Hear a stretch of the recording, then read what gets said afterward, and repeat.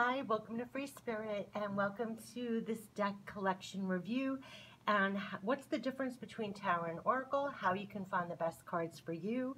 If you're buying and treating yourself for a gift, I always say Tarot and Oracle cards are the gift that keeps on giving. Um, so whether you're buying for yourself or for someone else, where to start, how to even decipher, what are the options even. Um, so a lot of my decks, um, you could tell from my close-up reviews, I have a lot of decks from over the years of treating myself, especially holiday time, birthdays, whatever. Um, I'm finding a lot of people, they make requests of people. I have this on my wish list if you could get it for me. But if you're buying a deck for someone else, where to start? If you're buying one for yourself, where to start? So I thought the best thing, I've never done this. This is a huge, massive task, and I have about 14 decks here. Anything I show, I'll put down in the description box, including how I organized it. So what we're going to first tap into is if uh, you have to question when you're thinking about buying a deck for yourself or for someone else, are they a beginner or are they more an expert? Are they more into tarot or are they more into oracle? And what kind of themes are they into? What kind of person are they? These are questions that you can ask yourself for if you're buying for yourself or if you're buying for someone else. So I put all those, you know, what to think of when you're buying a deck. I listed it down in the description box, but it really is do you like tarot and oracle? Are you a beginner or more of an expert? Or is the person you're buying for more of an expert or a beginner? That's going to be a big deciding factor whether they like tarot and oracle. And if they like tarot and oracle, uh, you know, what themes, because uh, there's so many themes. And um, and what do they overly like, you know, in their life? Because then you can find the deck that fits them or fits you. So where to start? So I, believe it or not, there are sections here. First, we're going to start off with a typical Rider-Waite-Smith. If you're looking for like a classic, you know, Rider-Waite-Smith deck, if you already have that, you or that special someone and want to go a notch up for the holidays, I love the touch of gold and bling. I'll show you a sample of the blinged out decks that have more gold and some, uh, it's a notch up. Then, if you want oracle decks, there are different themes to oracle decks. You may want to ask yourself, are you or that person an angel person, a crystal person, an animal person, that kind of thing. And then the last row here, the fourth section, is supporting local artists, ones that are not mainstream, not mass produced. You can go to their website or their Etsy store or, um, yeah, their direct website and purchase from them or, and, and just really support them. And also, it's um, an opportunity to grab some beautiful artwork and have a deck that's not mainstream.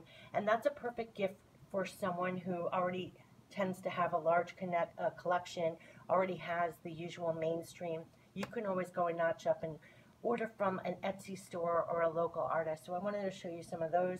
But if you're shopping for yourself or others and say they just want a classic Rider-Waite-Smith deck, Brilliant Colors is the Radiant. Um, if you haven't seen all of these decks, I have close-up reviews on my channel, but just to give you an idea, it is all brilliant artwork. Really bright. It was recolored. It is all brilliant colors. So if you're looking for a classic Rider-Waite-Smith deck. The Radiant is gorgeous, and it comes in different sizes, and you can get a gift set. I love this card. Um, with a huge book that has meaning. So if someone's just starting out, or you're starting out, going for a really beautiful, colorful Rider-Waite-Smith is a great deck to get you started. This is the Radiant, and the backs of the cards are this. And I have tons of close-up reviews if you want to see each and every card of that. But let's skip over. There's the Radiant, and then there's also the Universal Waite, which I love for its clarity.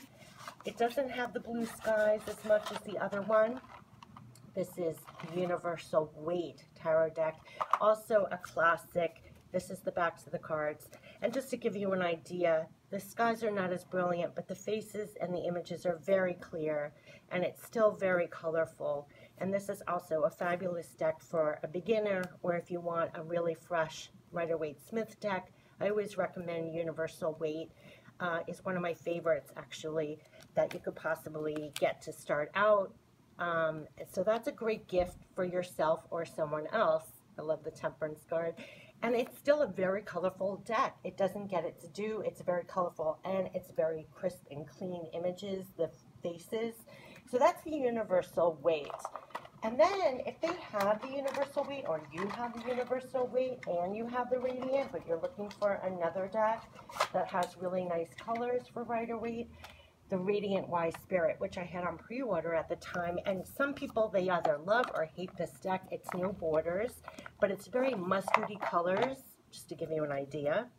Very deep, saturated colors here and you either love it or you hate it. That's what I've been getting from people. They either love it or they hate it. But it is a different kind of colored uh, classic Rider-Waite Smith deck, and the colors are very, I would say, mustardy, very saturated, and it's beautiful deck. So if you or someone else is looking for something with different kinds of colors, with no borders, this is the Radiant Wise Spirit, which to be honest with you, I even like the name. Oh, and the backs of the cards are the beautiful, this is the backing. So that has been just a sample of if you're looking for a classic Rider-Waite Smith. So that was the Radiant Wise Spirit. I showed you the Universal Weight, colorful deck, very clean, crisp images. And the Radiant is the recolored, really, really brilliant blue skies is what I always say about this and they're different sizes. So if you're looking for the classic Rider-Waite Smith, those are definitely three decks to consider. So say you have them or the person you know has those, you want to take it a notch up and add some gold. So let's start with the Golden Universal, which is such a beautiful deck. You open it up, and I think it was one of the first decks I reviewed. So it has this as a backing, not gilded, but it has the bling. It's the gold foil in here. So this is really a stunning deck. This was one of my favorite decks to use for many years. You can see it's very worn, but I love the gold foil, and it got me into the gold foil, the love of gold foil on my deck. So if you or someone you're gifting, um, this comes like that, so that was intentional. Just wanted to point that out. That's not the foil. Um, you know, wearing off or anything. I don't know why they chose that as a design, but they did. And, but it's very gold and shimmery and it is the perfect like notch up for yourself if you feel like giving yourself a gift or to someone else. And you can see the shimmer. I mean, it's just really beautiful. It's one of my all-time faves of the Rider-Waite Smith. Um, so this is the Golden Universal Tarot. And then if you want to bring on some more gold, I always think of gold for the holidays. It feels really rich. One of my favorites was the Golden Art Nouveau Tarot. If you're familiar with just the Art Nouveau Tarot, this has the gold foil. And to me, this was so exquisite. Um, I just thought it was so exquisite. So this is the gold foil with the Art Nouveau art. And it is just really pretty. Not as much. Here's some more gold foil. The sun. They didn't overdo it with the gold foil, but just enough to feel really decadent. And so this is a great gift deck too, the Empress, for yourself or, you know, whoever, the gift that keeps on giving. I just think this is such a treat with a little gold. Um, so I definitely treated myself to this one at some point. But this is the backs of the cards, and that is the Golden Art Nouveau Tarot. So if you really want bling, the most blinged out golden deck I actually did a, a deck collection review of all gold tarot decks. These are the three I just did for the sake of this video. If you want to bring it up even farther, this is like a huge gift box of the Tarot Black and Gold, and it's literally an all gold um, tarot deck. It comes with this beautiful guidebook, very thick, and it looks like a masterpiece. It looks like a museum piece, to be honest with you. It's all gold. Um, so this is just really an exquisite deck. I'll take out some of the cards. The backs of the cards are like this. And for each of them, it is really just all gold foil. Oops, with black on black. So it was just so beautiful and like a collector's item, I would say. So if you're looking for the ultimate gift for someone that you know loves blinged out decks or treating yourself, it's just something really kind of special so this is the Golden Black and Gold Collection Edition. And that is the Tarot Black and Gold Edition. And it's just really different and special. And so that's the idea of you can get, you know, a blinged out deck, you can get a regular classic deck, or take it up a notch and get one with gold with these three. Then say if you were really not into tarot or the person you're buying for, you're really more into oracle. The thing to think about with oracle is what are what's your theme? Like what are you into? Um, one of the newest releases, if you're into angels, is the Angel Guide from Kyle Gray. I'm like out of breath from running around. So people have seen this and have been screaming on the comments that they think it's gorgeous. It is. It's very vibrant and bright. But um, if you're into angels, you want to stay within angel themed decks. And if you're buying for someone else, then look for angel themed decks. You know, oracles have different themes. So here we have some images. I have a close-up review of all of this, but it's all of angel and angel messages, guardian angel. But it's just an idea when thinking about oracle decks, what I wanted to point out was that think about the theme. What are you into? What is the person you're shopping for into? If they're into angels, definitely go for an angel theme oracle deck. This is just a sample. It doesn't have to be this one. And if they're into crystals, this is um, a deck that came out recently, but there are a gazillion crystal decks out there. But I'm just saying to pick the theme that they like. Like this would be great for, oops, somebody who adores crystals. This is the backs of the cards. And each it will be a clear-cut message. But just to give you an idea, all oracles have different um, different themes. So if you're into crystals, I would definitely look for a crystal deck, or if you're shopping for someone. And also, you know, some people that you buy gifts for, they're not necessarily into angels, so they're not necessarily into tarot, but you can certainly get them a crystal deck. This has very um, direct messages right on there, so it's like, it's not very um, you know, difficult. You know, anybody could pick it up and use it. That's my favorite crystal, Angel Aura. But just to give you an idea with oracles, it's all about theme, to be honest with you. So if you're shopping for yourself or someone else, think about the theme you want in your oracle, angels or crystals, or maybe you like animals. This is the spirit of the animals. That if the person really loves animals, this is such an exquisite deck. I recently did a close-up review on the channel. Ooh, but it's really beautiful. They're larger cards. There are tons of animal oracle decks too. Like if somebody likes animals, but you go through, and the message is right on the card, which is another thing to think about if you're buying for someone else. You know, should the message be right on the card if they're a beginner? You know, think about what level they're at, what level you're at if you're buying uh, cards. Are you a person that likes the messages right on the cards? I went through a phase that's, I really appreciated that. Or do you like, you know, it depends. You know, look for what really works for your style and what works for your theme, you know? And if you're buying for someone else, if they're an animal lover, I would definitely look for animal oracles. Uh, and for yourself, check out what you naturally like, is what I always say. Like, if you like animals, definitely check out animal oracles. Or if you like crystals or the person you're buying for likes crystals, can't go wrong. And if you like angels, you can't go wrong. Now, say the person you're buying for or yourself, you have all of these kind of decks already. You're looking for something different, a little more eclectic. You want to support local artists or real artists, you know, not mainstream, not whatever. Okay, you can go to various artists' websites. One let me go to this one. Spirit cards. Ever since I got this in the summer, I love it. John Arthur Mosley, his website's down below. Him and, you know, tons of other artists, they release their own Oracle decks, and it's exquisite. You know, usually it's really finely made. So for a gift to someone, um, this is really special when you find these kind of decks on someone's website or an Etsy store. I'll show you some I got from Etsy. But beautiful images on this deck it's all about the spirit. It's called spirit cards. So it's the spirit of animals, spirit in nature, spirit. Lexi Princess. I love this dance. Just beautiful. His paintings are all in um, this artwork. It's really, really beautiful. It's a lot of animals and earthy, and it's the spirit of everything in the stack crystal spirit, just to give you an idea.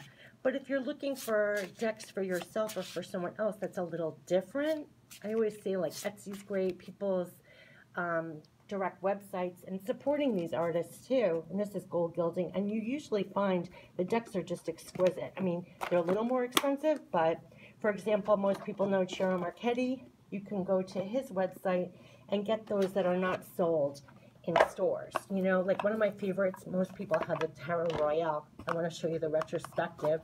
Um, you know, for the person who has everything, you can get like the retrospective, which is like signed by him. Where is it? Well, it's signed by him. But it's really, this is an exquisite deck, and it's silver gilding, which I adored. When I treated myself to this, um, it just felt like it was taking his artwork and making a deck just for me. It just felt really beautiful, the color tones.